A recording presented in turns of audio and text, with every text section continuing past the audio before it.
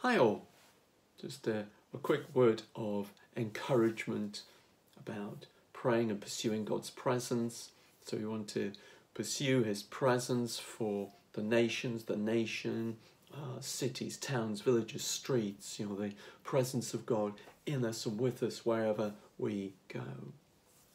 It says in Psalm 127, verse 1, that unless the Lord builds the house, the workers toil in vain.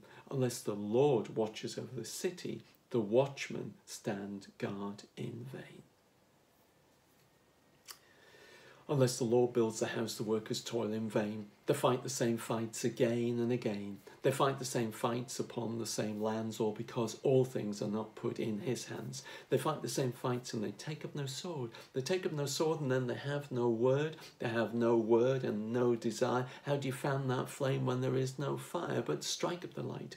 Take up the name, dwell on the word, and fan the flame. Let's meet with our Saviour and meet with our King. Jesus in all things, all things in Him. Let's take up the prayer gift again and again. For unless the Lord builds the house, the workers toil in vain. Unless the Lord builds the house, the workers toil in vain.